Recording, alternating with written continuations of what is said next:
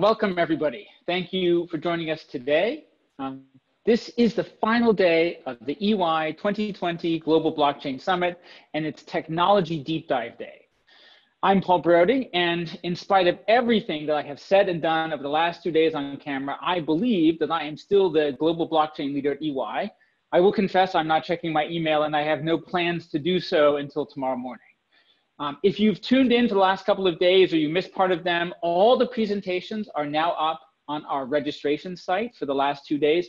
And uh, the videos, the full day videos are posted on YouTube. And the fastest way to get those links is actually just to go to my Twitter account, which is at pbrody, P-B-R-O-D-Y, and follow the links that I have there. We have another terrific agenda for you today. And John, if you'll put up our agenda slide for today, I will take you through it. We're gonna start off with Arwen Holmes, who is our blockchain chief technology officer. And he is going to give an interview, uh, an overview really of our blockchain technology strategy. Uh, and he's going to talk about sort of how we are building blockchain technology specifically for the purpose of enabling enterprise business transactions. Uh, we also have a special guest star for that presentation, Steve Todd from Dell Technologies, which is going to be fantastic.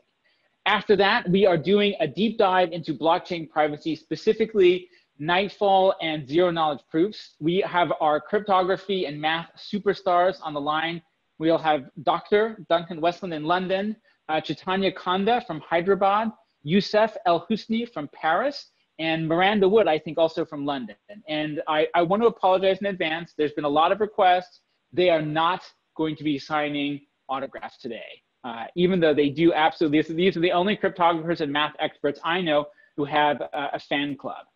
After that, we are covering our baseline protocol in depth with OpsChains 4.0. Uh, and then we're going to do uh, our final section today is going to be a tour of blockchain.ey.com, which is really the one stop shopping location. So everything that we do in blockchain, we are going to start delivering to blockchain.ey.com with APIs, GraphQL APIs, ERP integration, and web user interfaces so that uh, if you want to go directly to the blockchain, you can, but if you want to go easily and simply and in a way that's very familiar, it's going to be very simple for companies to integrate and make use of this technology. And I'll just remind you again, if you want to get a sample of blockchain.ey.com, our uh, smart contract review service is available in free, uh, is free for the public. And, and as of this week, it is no longer in beta. Um, we, as we have had in the last couple of days, We've got two more guest stars today for our short break. The first is Christine Kim from Coindesk, and the second is Hudson Jameson from the Ethereum Foundation. So they're going to liven up the uh, the in between parts of conversation. Now, before I get us started with Arwen's presentation, we have a, our first kind of surprise special guest star, which is EY's Global Chief Innovation Officer, Jeff Wong. I thought it would be great uh, to have Jeff Wong here to just talk a little bit about EY's innovation strategy, uh, because funding state-of-the-art math, cryptography, encryption just doesn't sort of seem like the kind of thing we'd expect an accounting firm to do. So, so Jeff, welcome. Um, tell us kind of how do you see EY's investments in R&D and core technology as part of the firm's future path? Well, first of all, Paul, you still are the global blockchain leader. Uh, I've been checking my emails this morning and it looks like you're in the clear so far, but we still have day three to go. Um, and welcome to everybody who's on the call. Uh, we're having an amazing, you, you are holding an amazing event. Congratulations to you and the entire blockchain team. I hope everyone out there is staying healthy. So in terms of advanced technologies and emerging technologies, we're really making a concerted effort to make investments at the front edge and cutting edge of these new emergent technologies. And the reason why is because this is go, these are the technologies that are going to define our future. So when we look at looked at it and we thought about what we should do when I joined the firm five years ago, it was very clear that we needed not just a one-off set of investments, but a systematic program where we could globalize our investment and make sure we're at every corner that we need to be in in the latest and greatest things that are happening in the world. So Jeff, aside from blockchain, which I know is your favorite and most beloved emerging technology, what other kinds of technologies is the firm investing in? Yeah, so we have investments across all, I guess, the buzzwords that you would see. So futuristic things like quantum, more common commonly known terms like IoT and 3D printing, and of course, drone technologies, where we're making sure we understand what's really happening at the front edge. But our two biggest investments are artificial intelligence, of course, and blockchain, of course. And while our, AI investments are really uh, playing out in a very significant way today, uh, to your point, Paul, I think blockchain right now has the most explosive potential in front of us. And in fact, from what I can see, we're starting to see the beginning signals of that explosion, that real big burst where we see the implications and ramifications of a blockchain technology unleashed on the world uh, going forward right now. Fantastic. Now, uh, before I, I, tie this up, I want to ask you, is there a unifying theme, right? EY is such a sprawling organization in professional services. We do investment advisory work. We do accounting, audit, professionals, you know, uh, uh, legal outside the US. Is there kind of a big unifying theme across these technology investments? Well, it's really interesting, Paul, because I think you're right. When people think about EY, they think about us as an accounting firm or a tax firm or a consulting firm. Um, I think when we look at EY, we think about data and relationships. And when we think about data and relationships, well, investments in technology to enhance those that the data that we have and take advantage of the relationships that we have and bringing that together and tying together technology is really the mindset that we're using when we think about EY as a firm and we think about where we're headed. And then the second thing, and, and I'm repeating myself a little bit here, is that emerging and advanced technologies are going to define the future. And at the pace at which things are changing, they're really defining today, right? And how we have to think about investments we make right now. And so that's why we're making such a concerted effort, a global effort to make these investments right now, particularly into concepts, particularly into blockchain. Awesome. So thank you, Jeff. First of all, just um, since we're here in public on the record, I just want to say extra thank you for tripling our R&D budget this year and for joining us to kick off day three of the conference. Oh, thank you, Paul. And while I'm going to sign off video right now, I'm signing back in as a guest so I can watch the rest of the day. Awesome, thank you. So uh, we're just about ready to tee up our first talk of the day. Before that, I need to do my final round of, of thank yous for making today's events possible in the last three days. First of all, uh, and first and foremost, uh, Suraj Jarnandan in uh, India, Marikit Klein-Smith and Kaylin Smigelski and Lindsay Weichelt here in the US, and actually also Eli Wolfson, Mihir Kulkarni, and John Frechette here in the US as well. Uh, and then secondly, I want to give one more shout out to the Ethereum Finance Forum and JT Nicole on Reddit. Uh, the moderators there have been absolutely amazing. Uh, we are incredibly grateful for the standard and the quality of the questions that we've been getting over the course of this event. And with that, uh, I want to just say thank you again, and I want to hand this over to my esteemed colleague, um, uh, uh Arwen Holmes, who's going to start uh, the conversation with his technology overview. So, hello everyone. Um, we're now here in day three. Uh, maybe a little biased on my end, but I think the most exciting day of the summit yet. I'm also curious uh, which Paul Brody t-shirt is winning on Reddit right now. Um, if there's not a subreddit started, certainly encourage somebody to start one. Um, on another fashion-related topic, um, I don't think the live stream today can handle my hair, um, so I'm going to save that bandwidth for our presenters later today. Um, so as Paul mentioned, I'm Arwen Holmes, our global blockchain CTO. I'm responsible for our technology operations and our engineering efforts globally as it relates to blockchain. And I'm really excited today to share a bit with you about how we're enabling blockchains for business. Um, so just jumping, jumping right into the agenda.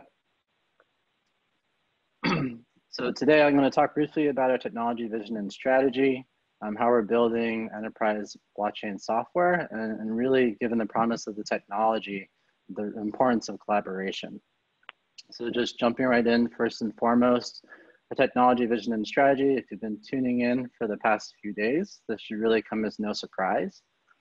If blockchains that are ever to, to deliver upon their full promise, uh, public blockchains must triumph.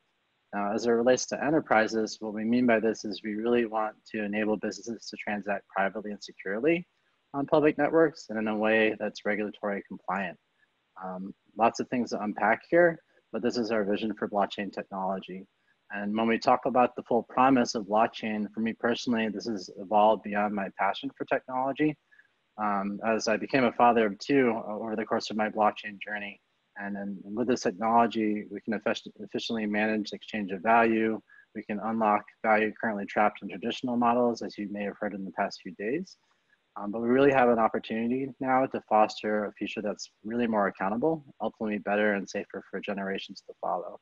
This is really what drives me with regards to blockchain and what makes me excited about doing this at EY. Um, this is really true when we think about things like provenance, traceability, certificates of authenticity, and really a renewed focus on value that we collectively bring to our ecosystems.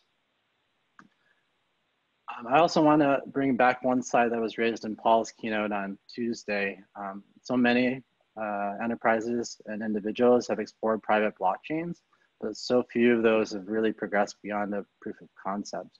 Um, we did a, a commission survey with Forrester's help um, last November, and, and of the enterprise executives that were surveyed, um, you know, 75% of them, it's an overwhelming number, but a nice validation for us, believe that public blockchains were in their future. But I'll pose another question.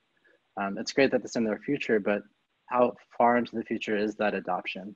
Um, well, we believe if the past is any sort of indicator, we're really just getting started. If we take a look at cloud adoption, for example, if you look at 2006, that was when Amazon Web Services launched, and, and really only about a decade later, in 2017, if you look at the majority of ERPs, SAPs, Oracles, and the like, um, those installs largely shifted to the cloud. If I take another example um, that we're all familiar with, online banking, um, banking online as we know it today, it really, really came to fruition back in 1995. Now, what's not depicted here is when that effort really started, and banks really started trying to do that back in the mid 80s. So uh, that took them a decade to really get out the door. Um, I'll fast forward a little bit, um, we were around the time when you may have received your internet on a compact disc, for those that are old enough to remember. Um, but by 2000, 80% of US banks offered electronic banking, but even still, they had very few customers adopting it. Um, that didn't really balloon until after the Y2K scare ended and after the dot-com bubble, when, when a lot of folks really had access to the internet then, um, and the first milestone for banks, uh, the first bank to hit 3 million customers happened then. Um, thankfully today we have a lot of folks that um, that do their banking online um, as we're as we're not able to go into branches in the way that we used to. Um, now, if I bring this back to blockchain, um, 2009 January, Bitcoin launched, uh, and even then, it took about a year and a half before the first commercial purchase actually happened using Bitcoin. That's commonly known as uh, Bitcoin Pizza Day today. Um, 10,000 Bitcoins were used to purchase two Papa John's pizzas, probably the largest uh, or the most expensive uh, pizza delivery ever. Um, now, if we fast forward again in 2015, we had Ethereum launching, uh, significant programmability um, with smart contracts, and then a proliferation of protocols and proof of concepts as blockchain peaked its hype cycle. And really, right now, we're just starting to get to the really meaningful work. Um, so, four months ago, December 2019, we launched blockchain at EY.com, which brings me to our strategy. So, it's, it's important to note um, that EY has really been at this for the past four years in a big way um, with regards to our first blockchain development starting in 2016. Um, well, the first few years included hundreds, literally hundreds of proof of concept builds and a lot of learnings. Um, I really want to emphasize that our blockchain strategy today has evolved. It goes beyond showing the art of the possible. Really, what we're showing to the world is what's technically feasible, but more importantly, we're working to make it commercially viable. This is also evident where there are increasing client demand um, and commitments for production-focused builds. Um, so solutions today really need to be more than just technically feasible. They need to be secure, cost-effective, and easy to use. And to further illustrate our journey, um, I'm going to talk briefly about uh, the last two years of blockchain at EY and highlight some of the milestones. So at our summit two years ago, we announced our EY blockchain analyzer, which is largely an internal offering um, supporting our audit business, um, but we were able to audit uh, multiple blockchain protocols, and that platform continues to expand today, supporting more and more protocols and, and even users uh, beyond our audit practice. Um, so more to come on that later. Um, in October of 2018, uh, this also marks our foray into doing privacy on, on the public mainnet. Um, we were the first to show that private transactions were technically feasible. Although when we did this, it was quite costly at roughly $100 a transaction. So maybe not all that commercially viable, but it only took us about six months um, to release Nightfall to public domain, marking EY's first open source contribution of blockchain technology. And this allowed us to execute private transactions on Ethereum and others for less than $10. Um, now with other advancements, and you'll hear more about the details on this in, in the talk following mine, uh, techniques like batching shared in December last year, you can now execute those transactions for under a dollar. And as I mentioned before, um, in December, we also launched our SaaS platform with our first, uh, first product offering, the smart contract review tool, as a public open beta. And as Paul mentioned, no longer beta. Um, so for me, what's really exciting about this and for our practice is that we now have a platform that brings our portfolio of offerings, services, and business applications really to everyone. So a lot more to come on that. Um, and just last month, um, I do want to highlight that we released our second substantial contribution to public domain, the baseline protocol. And you may have heard a bit about that on, on day one's closing keynote. Um, but this was in collaboration with ConsenSys and Microsoft, and it's been an amazing effort. It's been underway since the better half of last year, and really excited about the engagement that we're having right now in the product community. Um, so as the header says, spoiler, as you'll see later today, there's quite a bit more on the way. And, and I hope you guys stay tuned for the remainder of the day to catch that. So now I'm just going to pivot quickly to share about four key points on how we're building enterprise blockchain software at EY. And hopefully this is beneficial for others that are looking to do the same. And so number one is design and build for public blockchains. And you'll understand soon why I've crossed out the word first here.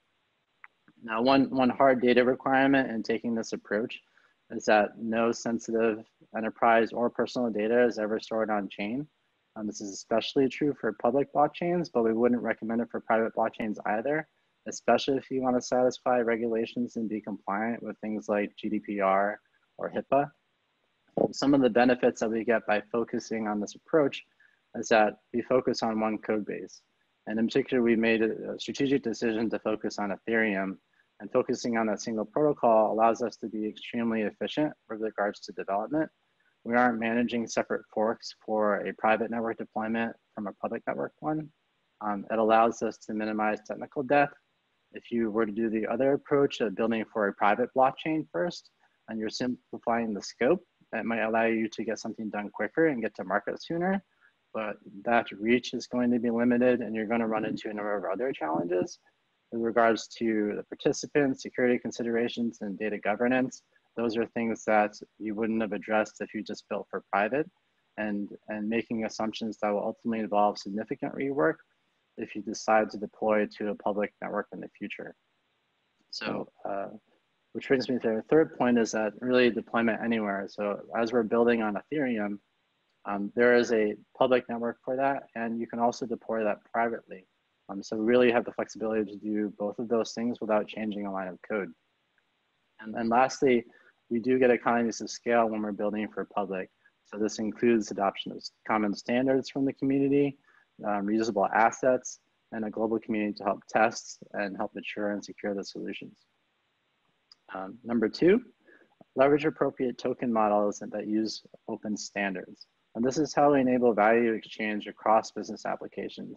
And another core point um, for our vision is that you know, we believe these applications should be interoperable on the same network. I know there's a lot of talk about having different protocols interoperate with one another, and it's a challenging task uh, and something that Baseline also looks to address is how do you maintain consistency across different state machines. Um, but the focus that we see here, that ultimately the scale that we'll get is if we're building those solutions to interoperate on the same network. In order for that to happen, we need to be leveraging the same common standards. Uh, that for that adoption to scale, everybody needs to be speaking the same language. Now, um, tokenization itself, um, we believe that you know tokens and smart contracts will be the standard way in which companies will do business with one another. Um, but the tokenization of the asset itself, be it a real asset or a virtual one, often involves more than just its digital twin on the blockchain. So if I look at this bike, you know, is this this is this representing the actual physical asset, the bike itself? Is this the legal ownership of that asset? Because they're not always the same things, right? If I purchase this bike online and it's shipped to me well, the payment would entitle me to the ownership right away, but logistically, that's going to go to somebody else first before it gets to me. So if I want to track and trace that item, that can be handled with a simple ERC 721 token. But if I want to do other things like uh, support other financial instruments like insurance policies or loans, you're going to be challenged to do that if you don't have the right token model. So really important to look at what is the value being exchanged and, and not just for today's use case, but tomorrow's. And with the right token model, um, it's really important to, to get this right. The ecosystems will ideally have the flexibility to establish new business models, like the ones that we see emerging in decentralized finance. We really want to empower that. Um, so we also did this very early on, but the concept of being able to nest tokens, right? If it was a, a product like an electronic car, um, the battery you might want to have managed separate from the actual vehicle itself, right? Um, given how costly it is and, and that you may not want to own that or maybe you want to lease that, but you want to own the vehicle. There's lots of different things that could be unlocked if you have the right flexible token models. And number three, maintaining principles of decentralization and portability. And these are really core concepts to blockchain. If I just look at the Bitcoin network, which launched back in 2009, so it's been more than a decade, it's really only experienced two downtime events that entire time. The last major one was in 2013. So it's been up 100% of the time since. Um, we'll be really challenged to look at other systems that have that kind of durability. Um, so some of the main uh, extensions of this is there's no single points of failure. And it's, it's often not enough as you're building blockchain solutions that the blockchain nodes only be decentralized. And this needs to apply to the applications as well, APIs and user interface that operate on top of the blockchain. Hence why we have DApps, as well as the underlying infrastructure needs that, need, uh, that also needs to be decentralized. Um, an alternative would, you know, if we don't do that, would be going back to what we've been used to, right? Reverting to traditional centralized operations um, that are subject to vendor lock-in and single points of failure and, and more costly disaster recovery plans to ensure high availability. Another thing that we do to help with portability and decentralization is that we containerize all of our assets. So we do this leveraging Docker and Kubernetes and to give us the flexibility of managing deployments across hybrid infrastructures, be that in the cloud or on premise. And, and thirdly, we, we use open source technologies quite heavily, right? Um, they, they can ideally run in different environments and, and preferably they're not, they're not also resulting in vendor lock-in. It's important that we're doing this so that we're maximizing adoption across an ecosystem that we can't size in the future, right? And it's important that we're maintaining that optionality so everybody feels open to join.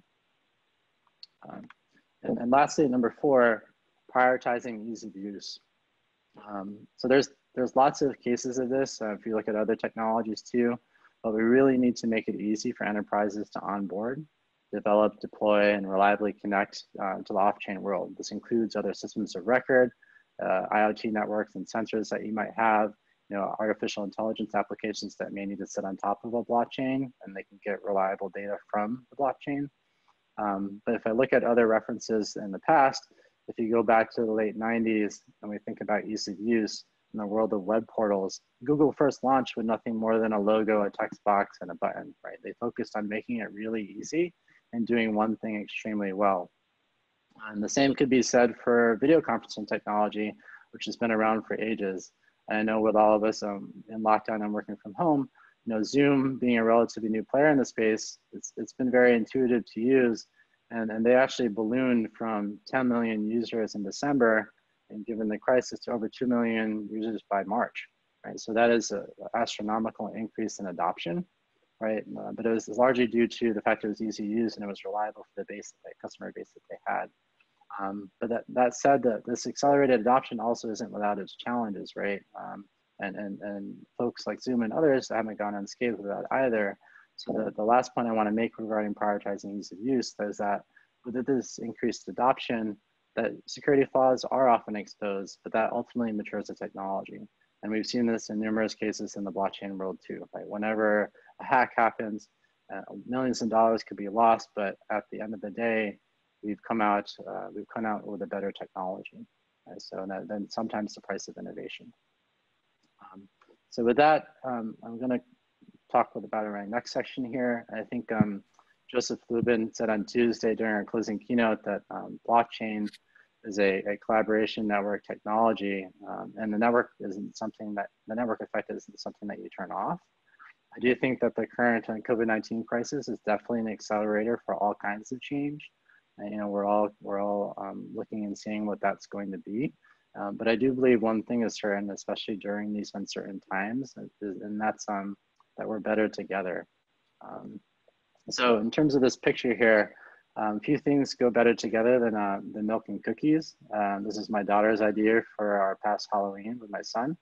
Um, the, the points I want to stress here is that blockchains really foster collaboration across so many dimensions. Um, and as you'll see later today, like we are continuing to advance blockchain technology. We're pushing the limits of zero knowledge proof cryptography, as well as building a suite of commercially viable business applications and foundational services that you'll soon be able to find on blockchain.ey.com we at EY are making really good progress, but there's still a lot of work to be done, right, for blockchain to deliver on its full potential. And significant advancements are being realized through true collaboration. I would like to call particular attention to the baseline protocol, um, which can be accessed um, through this QR code here, or you can visit docs.baseline-protocol.org. Um, and then just really want to encourage everybody to get involved. Um, and you can stay tuned later today for a deep dive on that topic. Uh, at the end of the day, blockchain is really a team sport, and I'm hoping that together we can really unlock its full potential. So um, with that, um, I'd like to close by just saying that uh, we at EY are very fortunate to sit at the nexus where so many industries and technologies and talents converge, but it's gonna take a lot more than a village for us to build this better working world. And we're really truly grateful for the, the ongoing efforts of all of you, the folks taking the time to join our three-day summit, you know, large and small enterprises out there, enthusiastic open source communities, the technologies we build upon, and everybody in between to make this a reality. Um, and in the spirit of that collaboration, um, it really gives me great pleasure to welcome a very special guest that's joining me today. Um, so I'd like to I'd like to take this time now to, to welcome uh, Steve Todd. Steve, how you doing? Good. Um, can you see me? My hair is not causing bandwidth issues either, as you notice. Yes, I, I can see you perfectly fine. Just let me get uh, set up here. Um, I'll stop my share, I think. Great. Um, yes, very good. So Steve, Steve is a fellow at Dell Technologies and, and really a pleasure to have you joining us today, Steve. Um, so uh, can you tell us a little bit about yourself and, and some of the background that you have in blockchain technology? Sure. Uh, first thing I'd like to start with is that I've been in research and development for my entire career. So when I think about blockchain, I think about it from an R&D lens. And you mentioned uh, the introduction of Ethereum in 2015. As we were watching from the office of the CTO, we recognized instantly that someday uh, on this new application development platform, we would see uh, business logic that would be valuable inside the enterprise, right? So we, as a development community, brought Ethereum on-prem and, and started to understand it, and we saw the challenges associated with, with bringing public chain inside an enterprise. So we, uh, we began a significant R&D investment inside Dell which I can talk about. And lo and behold, a couple years later, we as Dell, we needed a public chain inside our company to solve some sticky business problems. So, you know, what we thought would happen actually came true uh, for ourselves. And that's when we started the partnership with EY because you developed some uh, the OpsChain framework which allowed us to, to take a look at reducing our costs significantly so as we work together uh, on those problems and those challenges with bringing public chain on-prem, uh, we solve them with our R&D in some of our, our own solutions, right? And, and so today we're at the point where uh, Dell and EY together, we've got solutions that can help anybody, any enterprise that, that wants to implement uh, public chain applications in their environments. So um, I wanted to also say it's cold in New England today. When I woke up, it was below freezing. I appreciate the fireside invitation. So, so let's chat about this hot topic. Yeah, so uh, appreciate that, and yeah, really looking forward to our discussion too. Um, so, can you tell me, let's start off with with some challenges. So, what what challenge do you foresee enterprises facing to adopt blockchain today? Sure. Well, the one where we see the most friction is uh, the whole reason for bringing a public chain inside the enterprise is to integrate with the systems of record that we already have inside the enterprise, right? So we want to combine our business logic with this new logic coming in on the public chain. So when you think about the data integration problems represented by that, uh, you have some of your uh, data in a SaaS application or an on-prem application. You have different types of databases. You may even have your own internal blockchain, right? And if you think about all the point-to-point connections and all the coding that has to be done to bring data in between uh, the public chain application and your internal systems of record, that's a huge startup cost right, in terms of development training and coding. And so one of the ways we've solved that is through use of Dell's Boomi data integration platform, right? That's a drag and drop uh, data integration platform. So it's a no code environment where we've written uh, public blockchain connectors that can be graphically dropped into your data flows. So that just is an accelerant, right, for that very first problem of data integration in an on-prem environment. Yeah, and we've seen that challenge too. It's, it's um, we don't control what the systems of record are for the various ecosystem participants in, in, any given blockchain network, right? So I do think that that's certainly one viable option is, is to help make that easier for enterprises to do is to leverage that Boomi technology. What, what are some other challenges that you foresee with, with blockchain adoption? So the other challenges have to do, first of all, with um, that uh, workload crossing from a public boundary over into a private one. So you've got uh, issues of security, you've got issues of uh, different network protocols that are used in a public setting versus maybe a firewall setting. Um, these are all just um, multi-cloud problems, right? And you want to solve them in a way where uh, that particular on-prem enterprise is not locked in, as you mentioned, right? So they may want to use some sort of converged infrastructure Azure Stack solution, or maybe a containerized VMware solution. So as we looked at that problem of crossing the hybrid boundary, right, we thought of, we thought of VMware, right? VMware does that all day long, right? In terms of secure, uh, network, identity management across that hybrid boundary. Uh, once you're on-prem, however, there's another set of challenges that we talked about.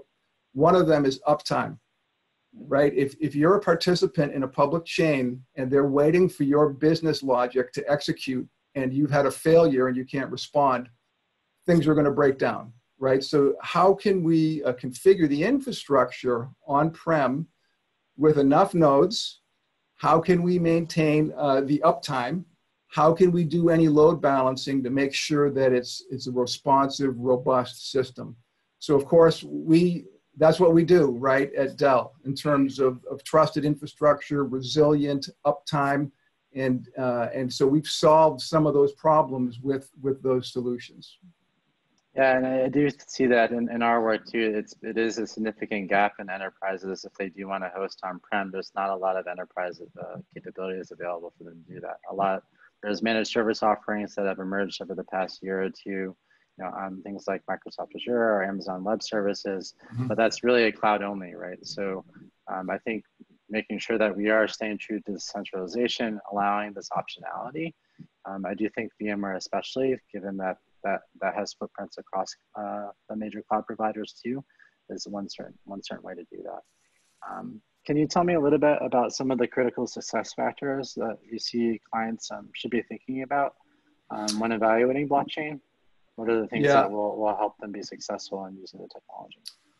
Well, I think you just used the word, and, and the word is decentralization, right? Um, our customers, just like we did in our R&D context, right?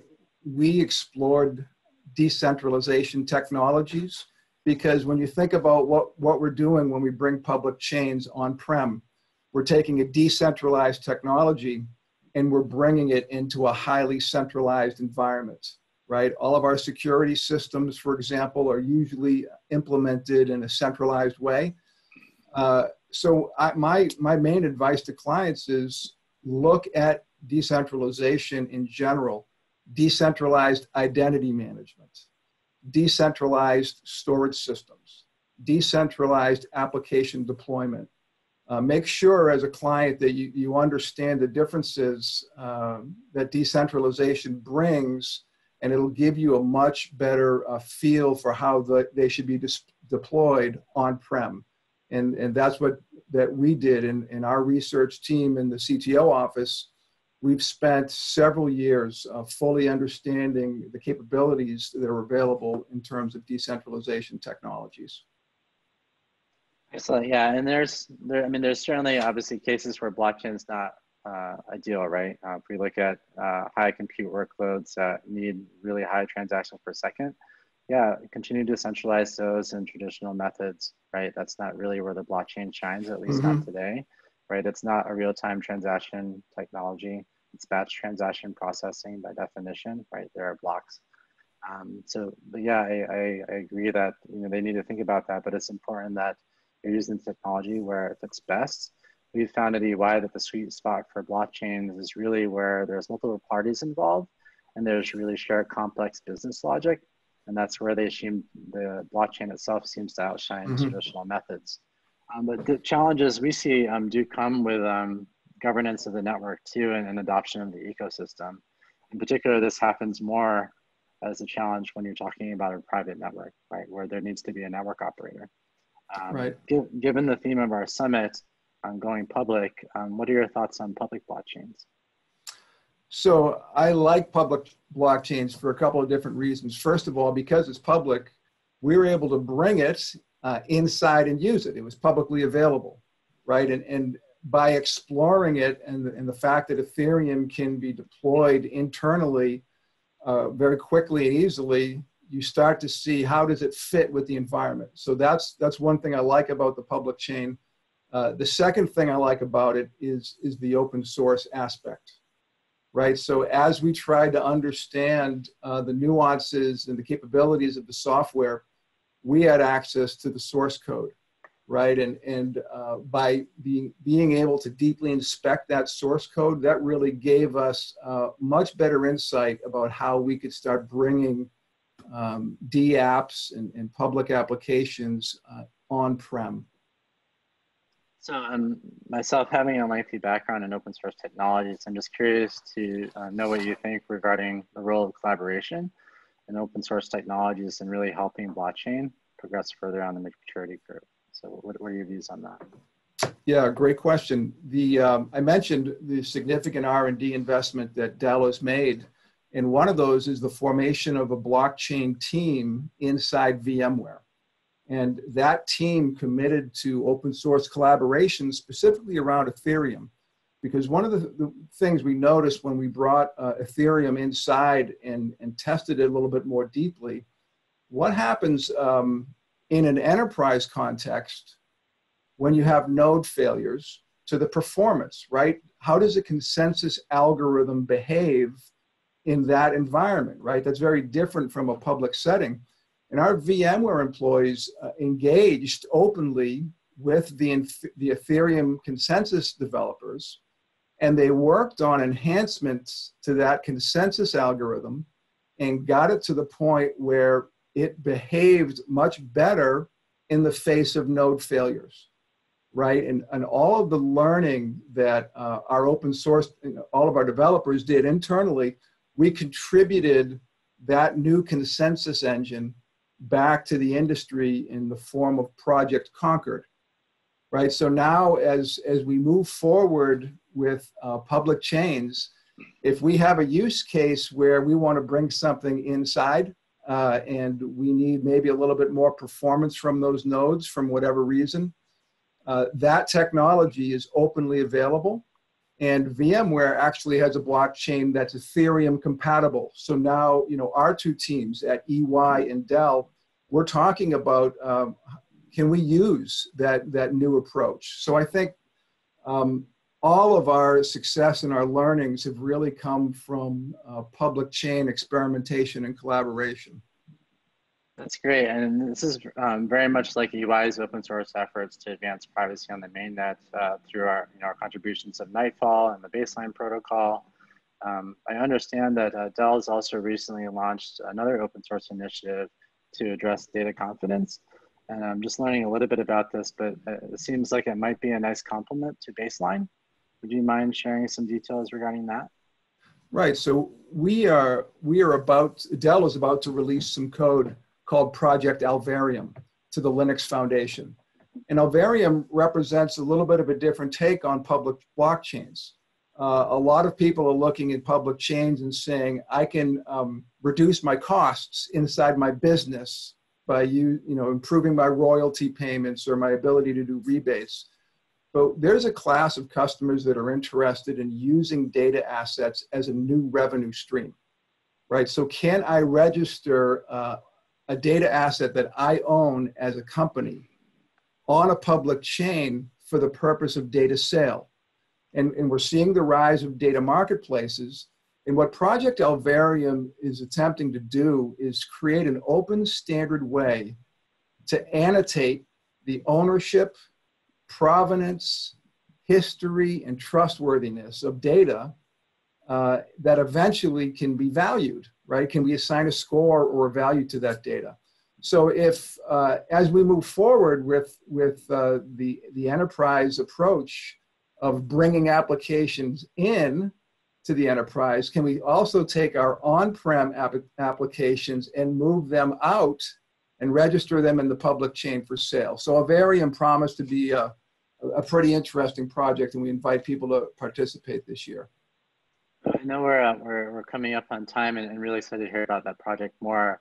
Um, but how do you see our Dell EY partnership bringing collective value to enterprises? And maybe sharing a little bit about how Dell is adopting technology internally. Sure. When you when you think about what Dell does, right? Uh, I'm talking to you from my Dell laptop today. Mm-hmm. When when I purchased that Dell laptop, well, actually, it was free. Um, but, uh, but we had a whole set of royalties that need to be distributed, for example, Microsoft. When we uh, build our Dell-wide solutions that include our storage systems, our servers, uh, VMware, Boomi, we bring them all together, the, the revenue that comes in, again, needs to be divided up. And that process can take uh, weeks, right, to, to figure out all the paperwork of how people get paid. Uh, your team has solved that with OpsChain, right? So by bringing that application inside Dell, we're hoping to, to realize significant business benefits. And the way we would build that solution is to take your technology and use our products and our solutions that we've been working on for the last five years, bundle them together uh, and all of a sudden, we have a pattern, right? We have a solution that can help other companies that want to cross this boundary from public into on-prem. That's, that's really excellent. Um, I know we have about a minute left, so I want to wrap up quickly here. But just to summarize for our audience, uh, what's what are some final thoughts, main points that you want um, our audience to come away with from this chat? I would say uh, number one, public chains are here to stay. Uh, the applications that are being developed on public chains can and will help your business. And when you start to solve that problem of how you're going to do that, uh, just know that Dell and EY, um, we're, we're years ahead, right? And, and we have solutions that can make an impact immediately. Uh, looking forward to see if there's any Q&A or chat uh, for people that, that might have some questions about that, and we can address those throughout the day. Yeah, um, and, and, we certainly will. Unfortunately, you know, we have a lot of content that we had to jam in this time frame, and I, I just want to take this moment um, to, to thank you, Steve, for your time. I couldn't agree more. We're really excited to have Dell as a partner in building enterprise uh, blockchain applications, and and really my final points, and also for my keynote for enterprises to really fully adopt blockchain. They got to be easy to use. They must be easy to deploy, and we have to make it easy for them to connect to other systems. So uh, thank you again, Steve. It's been a sincere pleasure having you join us. My pleasure. thank you. Thank you. Paul, back to you. Ar- Arwen and Steve, thank you both so much. I, that was amazing. I, I, have three really important takeaways from that presentation. Number one, we heard Dell say uh, uh, public blockchains are here to stay. Number two, OpsChain being used, uh, going to be used inside of Dell, and OpsChain on Dell products and solutions to other clients. So uh, this is a, a, truly special announcement, and we are excited. There's there's going to be a ton of questions. I know there's a, there's a ton already flowing on YouTube as well. Right now, I want to go to our little break, uh, and in the break, we have our brilliant, amazing, super guest stars. And every day we've had incredible guest stars, and uh, we've got two fantastic ones today. First of all, Hudson Jameson from the Ethereum Foundation, and secondly, Christine Kim from uh, CoinDesk.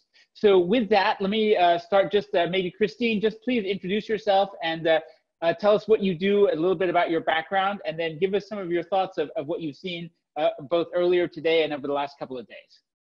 For sure. Thank you so much for having me, Paul. Um, it's a real pleasure to be here um, at the conference, this virtual conference, which is actually the first one that I've done uh, amidst this time of quarantine. I haven't done a virtual conference before, so this is really quite exciting. Um, as you said, my name is Christine and I work for Coindesk. Um, I started off as an intern for Coindesk back in 2018. Um, I then transitioned into a role as a tech reporter, focusing primarily on technical developments on the Ethereum blockchain. So a lot of this conversation around um, what is capable for enterprises on the Ethereum blockchain um, is quite interesting to me. Uh, I transitioned actually again into um, a new role at Coindesk, which is a research analyst. So I'm now on the research team at Coindesk, and that started in November of 2019. So I'm just getting into the role and um, familiarizing myself with certain uh, data analytics and metrics that are specific to um, gauging um, gauging uh, activity on on uh, these public networks. So that's a little bit about myself. I'll turn it back to you, Paul. Thank you. And we have our second guest star, which is Hudson Jameson from the Ethereum Foundation. Hudson, I have to say, you know, uh, we at EY have shown the Ethereum Foundation just as much love as we possibly can. We love Ethereum. We support Ethereum. Tell us just briefly about yourself and what you do at the Ethereum Foundation. Sure thing. So yeah, my name's Hudson. I uh, work at the Ethereum Foundation doing a number of roles. Um, one of them is uh, community work. Another one is uh, internal DevOps and security. And I also do a lot with the governance structures of Ethereum. So like how decisions are made, our specifications process, and our core developer meetings. Uh, previously, I worked from 2014 to 2016 as the blockchain lead at USAA, which is a banking and insurance company in the US. Um, after that, uh, 2016 went to the Ethereum Foundation and uh, have been helping out there ever since. I love my job. I love uh, this community, and I love that enterprise uh, is moving on to mainnet. So, uh, and actually, maybe I'll start with you, Jameson, since you just introduced yourself. Uh, Dell joining the club, EY, Microsoft. Um, are large enterprises going to be fully welcome in this community that's very committed to open source, or are we going to be treated with some level of suspicion? You know, I will I will admit it used to be the kind of thing where these open source developers were kind of wary of enterprises a lot of the time because of the the initial uh, private chain uh, specifications that they were coming out with that was kind of against this decentralization theme, against this openness theme. Um, I think that uh, projects that are building, that are going to these uh, meetings with these open source developers and contributing code and specifications and standards, they're the kind of uh, people that we want in the ecosystem. And I think they're rapidly becoming more and more accepted. It's more about the individual contributions and the entity contributions that are really helping everyone more so than uh, someone coming in and trying to just shill their business. Uh, and uh, so that sounds very encouraging. Christine, uh, uh, let me ask you. So you talk to, in your role as a reporter and as an analyst, you talk to tons of companies and entities and organizations around the world. Uh, how do they see the future of Ethereum with enterprises? That's a really good question because, to be honest, I think the topic of enterprise blockchain has really died over the years. It used to be a major buzzword and there was a lot of hype around it. But I think the slow development of true enterprise enterprise applications on public blockchains um, has slowed um, just uh, very much interest. So I actually haven't been talking very much specifically about enterprise blockchain applications, which is why I think this conference and the conversation I hope it sparks um, will really go somewhere. Um, and today, when Dell had announced, you know, their partnership now with EY, I was really curious to know a little bit more detail about what was that initial problem that they used blockchain to solve? I think that so many uh, conversations, at least in the past that I've had with with uh, different sources on enterprise enterprise blockchain, has been that this is a very experimental, um, you know, early stages, uh, kind of in an early stages phase, and that through the development and through um, the development of, of public blockchain technology, of, of Ethereum growing to scale, it will one day be useful for enterprises. But the idea that it's immediately um, accessible and, and, and um, can bring some kind of a positive impact, I think uh, is something that needs to be highlighted and, and talked about a little bit more uh, in detail. Well, I, I, can actually answer your question that you posed in there. The, the thing the thing that specifically is being solved at Dell is their software licensing relationship, uh, initially with Microsoft. So, if you may recall, EY is building the Xbox video game software licensing network, and uh, Microsoft has started. We're working with Microsoft and Dell and others to extend this beyond video game licensing. So that was the very initial problem. But I think the kicker, the thing that pushed things over the line for Dell and is moving things over the line for other companies, is this emergence of privacy tools on the blockchain if you're a public company, you can't disclose if you if you want to do your supply chain operations on the public blockchain and everyone can see what you're doing they can see how many lemons you're buying and how many uh, uh, you know pieces of pork you're purchasing. That's material information. Privacy is the engineering problem that had to be solved. And in fact it's the topic of our next discussion. I want to flip back to hudson um, and, and ask you you know uh, the ethereum uh, public infrastructure has always been uh, has largely been with, without a big privacy focus. Uh, do you see in your interactions with the developers in the community, do you see a big shift towards doing much more privacy centric work? Because this, for, for corporations, I can't speak for individuals, but I think for enterprises, without a high degree of comfort around privacy and security, they just can't proceed.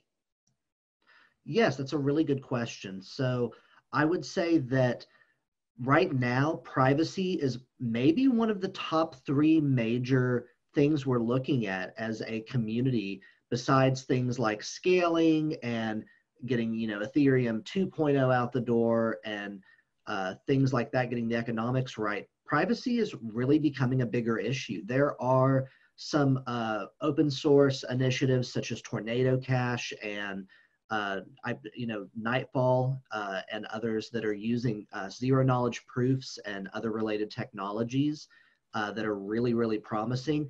And I know the Ethereum Foundation is uh, funding a lot of the researchers who are going through and making these, uh, you know, new, newest trusted setups and working with Aztec and EY and all these other companies on privacy solutions. Privacy is really important. And unlike uh, other blockchains that have privacy as their base layer, Ethereum is a lot more flexible in that you can have privacy on selected pieces of your infrastructure. So I think for enterprises, that's a really big deal. Um, I know Arwen had mentioned having nested ERC 721 tokens where you have the car battery versus the car tokenized. And I can see a future where you have uh, like a car and you decide to go to a restaurant and that restaurant says, hey, when are you getting here? We're going to give you a quarter of a penny or a quarter of this token uh, in order to take your private information. And it's like, if you want to sell your information, there's a use case right there. But you have that section as private when you're sending it over, but you can publicly have the idea of this restaurant reaching out to all these individuals so that there's more transparency. So there's just, you know, use cases out the wazoo, and it's going to be really cool to see these come to fruition. Yes, indeed. Now, uh, I want to turn back to Christine and uh, ask you a little bit about what you're seeing in the way of privacy. You're talking to lots of different companies. You're doing your own research. What's the where does it fit in the overall sort of priority in the Ethereum kind of ecosystem? I have to confess, I haven't been keeping as many tabs on Ethereum as I used to when I was a tech reporter. Um, but I'm just going to think back into some of the most recent developments that I had heard of.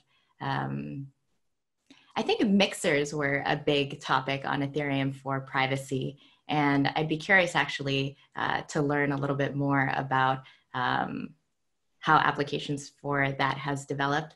I think as Hudson had said, a really interesting part about Ethereum is that privacy wasn't built into the main net. And so uh, it's second layer technologies and solutions that are being developed now and innovated uh, to bring um, a certain level of, of privacy for users. And one of the interesting points that I, I think really ties into this discussion of privacy and its, its importance um, is this idea that for enterprise blockchains, there is public blockchains specifically, but also private blockchains. Sensitive information and, and personal data shouldn't actually be stored in this network. And so that idea that you that you should be finding a different use case for uh, that enterprises should be finding a different use case for blockchains rather than you know storing sensitive personal data um, and and how privacy kind of still plays a role. Even if your data isn't sensitive or even if your data isn't personal still valuing the privacy of whatever this um, non-sensitive non-personal data is um, I think I think that is a really interesting conversation and dynamic that um, cert, that technologies on Ethereum uh, perhaps haven't yet touched on, but um, if there is going to be more enterprise activity on Ethereum, we'll have to discuss and we'll have to um, see more innovation in. Well, this was actually one of the single hardest things that we had to deal with. We, we kept going over this and people kept saying, well, how are you going to secure the data? And at first, the initial thought was, you know, we should encrypt it. But the truth is, encrypted data is still vulnerable to eventually being decrypted. And so, you know, we kept coming back to this idea of like, well, what if we could have absolutely no data on the blockchain at all? What if if uh, uh, your sensitive data never went on chain, you had off-chain links, you could disconnect it, and that's where that ended up being that ended up feeding into the baseline kind of vision, which was no sensitive data on the blockchain at all. Um, let me uh, kick it back over to uh, Hudson. Uh, I would like uh, for you and, and uh, then Christine to give kind of a couple closing comments before we go into the next section. What are you looking for, or what would you like to see over the next year or so with regard to the maturing state of privacy on the blockchain? So over the next year, I want to see more people actually using it. I want to see people value their privacy more. And the biggest thing with that is you can you can value privacy without having something to hide. Uh, that's something a lot of people don't understand, and uh, that's something that I think just needs to be driven home. And as the more people who use these privacy solutions, just like in a decentralized network, the more uh, you know resilient it's going to be. Especially with these things like mixers, where the more people who participate, the uh, the more privacy you have. I think I'd also like to see more uh, general and public information about how privacy is built on the blockchain because of the unique technical infrastructure that blockchains do present to users. There's many cases where privacy is is touted and said to be um, secure when actually it isn't and bugs are found and uh, people's yeah sensitive and personal information is is um, is released so um, I hope that there is a greater level of understanding around how privacy is built on a blockchain um, for users just to be able to um, check and, and hopefully be able to test themselves before using uh, a certain before uh, before using a certain uh, application that says that you know their personal information or or um, their transaction information won't be won't be visible on the blockchain. Excellent. Christine and Hudson, see you at the next break. Thank you for your commentary.